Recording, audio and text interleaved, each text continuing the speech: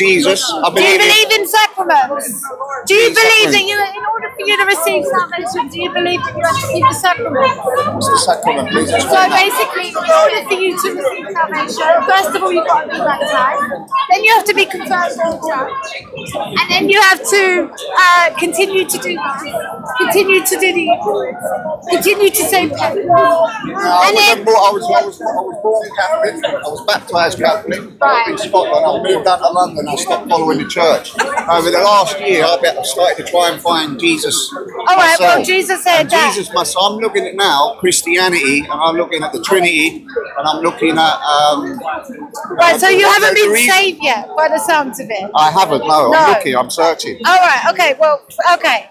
But what. I don't understand is, is today is about unity. It's No, about- there's no unity. No, no, there, you have to understand there is not. The, the, the British no, people. the no, British it's people- not about this world. Jesus said, "Set your mind on the things above and I'm not, not on the things of the world." today. The judgment is coming on the whole world.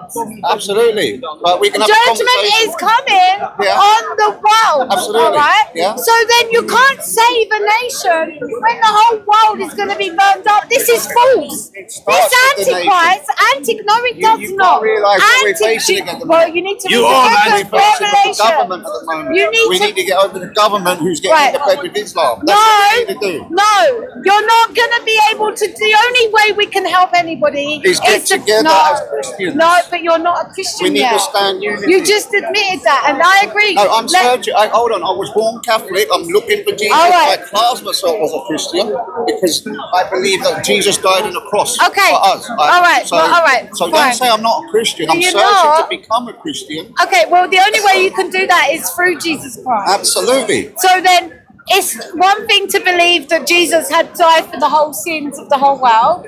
Most people, I was one of these people. I used to be Catholic as well. All right, I believed that Jesus died for the sins of the world. I believed that I had to be good.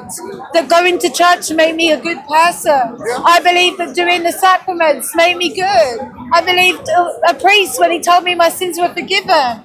I did all of that. All right, but it wasn't until Jesus Himself brought me to the end of myself that I thought I cried out to Jesus to help. I realized, I realized that you know I was a sinner and I couldn't continue to live on the way that I had. I reached the end of myself and I cried out to Jesus and I said, Lord, save me.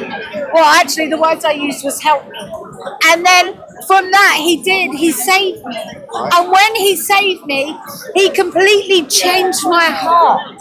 And everything about me changed. It wasn't, you know, I had a desire for God. I had a desire for the Bible. I had a desire. I had a desire to forgive my enemies, pray for the people that hurt me. But you know what? I went back to the Catholic Church, the same church I've been in for years and years and years. And I realized that it was a very dark place and that God wasn't in it. And at that point, I didn't know the Bible, I didn't know the scriptures, but I just knew that God wasn't there. No, and then I eventually I picked up my Bible and I started reading it. And then when I started reading it, I realized the discrepancies between what they teach and what the Bible say, they're two different things. Yeah, absolutely. And so I came to this realization, obviously, you know, I spent years studying the scriptures before I I went out and started preaching. I didn't just go out, I spent years studying the Catholic Church, years studying the Bible, years studying the differences of religions and things like that before the Lord let me go out and start preaching. And so, you know, it's one thing, you know, I don't like what I see. I agree. We have, you know, I don't like the uh, things going on with regards to Islam. What I'm saying Hold is on, no, no, Britain me. needs Christianity. Christianity. No, listen, what listen, we need is Jesus Darling, Christ. darling, I did let you talk there for a long time and I did All listen right, to you, okay. didn't I? All I'm saying is, at present, okay, we've been taken over by uh, elite woke overlords, okay? Let me. All right. Um, okay. Yeah. So we've been taken over at the moment. Our, our government has been infiltrated by elite woke overlords, okay? And they are taking over our country. And what we're seeing right now, right now with this election, is you're seeing Labour, who are a left-sided party, getting into bed with Islam all over the north to gain power, okay? Now, as far as I'm concerned, Islam are far right. Okay, they're fascist. They're fascist. They want to exterminate. the wolf in sheep clothes. They want to exterminate all Christians and and Jono are hypocrites. The wolf in sheep's clothing. They think they only know the Bible, but they are the devil agent. No, they're not. No, they're not. They're the only people down here preaching the truth. They're exposing the lies. No, they're not. You preach any other gospel, you're a curse. You preach any other Jesus, you're a curse. Amy and John are probably two of the bravest people down here because they're the only ones brave enough to stand up for the true gospel. That's put up with that all the. No, you can't. There's no unity with light and darkness. Blessed are you when you are persecuted for righteousness' sake. And you know what? As much as I don't like it, you're not going to save the world. The world is going to burn up. God is in control. The only way we can help anyone is to preach the true gospel. If you want Jesus, you've got to come to Jesus. You have to come to the end of yourself. You have to realize that you are a sinner in need of a savior. Absolutely. And that nothing you do can make you good enough with God. Oh, no. And you don't just believe he died for the sins of the whole world. You have to believe that he died for you personally. And when you cry out to Jesus and you say, Lord Jesus, have mercy on me, a sinner, and you believe in your heart that he died on the cross for your sin, was buried and raised on the third day, Jesus will save you. And when he does, he'll give you a new heart, put his spirit in you, and bring you into relationship. You want to know God's true church? It's his people. Jesus is the cornerstone. We are the been saying, it's foundation. people. And no, but it's not the It's Catholic Roman. No, but if you believe in a false Jesus, you're not saved. If you believe in a false gospel, Galatians 1 8 said you're accursed. It truth matters. Jesus said, I came not to bring peace but a sword. I don't like what I see going on in this country. I've had to deal with the two tier policing. I don't like it. But I know that God is in control. And He tells us to set our minds on the things that are above, not on the things of this world. The things of this world is temporary. Judgment is coming whether we like it or not. So the best thing we can do is to preach judge us all. Jesus Christ. That's it. That's the only way we can help. And we don't just preach to Muslims, we preach to Catholics, Mormons, Seventh day Adventists. We preach to everybody and anybody that is willing to listen to God's truth. I mean, even according to Islam, Jesus will judge them in the day, the, at the hour. So, God bless you, sister. Anyway, but you have to be born again, and the only way you can do that is through faith. You want Jesus?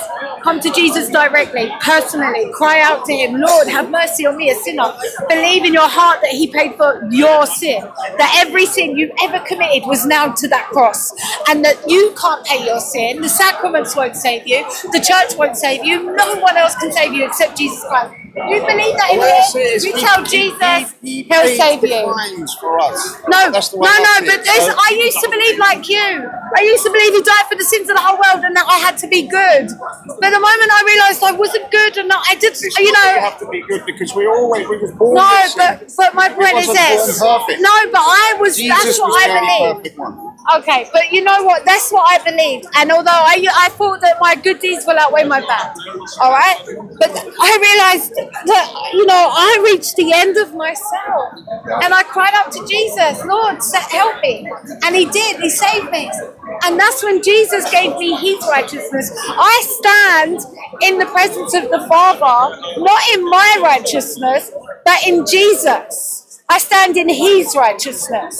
And it's through Him that I have eternal life. It's through His righteousness that I'm good with the Father. I've got no works. I read my Bible. I pray. I go, I, well, I don't go to church all the time, but occasionally, well, I occasionally, I haven't been for a little while. But, you know, I do, I do things, I do stuff. I'm not going to talk about what I do, but I do stuff. And, you know, but you know what? Not one thing makes me good. Only Jesus. Only Jesus. And the work I do, I do in the Spirit. And it comes from the Spirit. And so the only one that is glorified in what I do is Jesus Christ.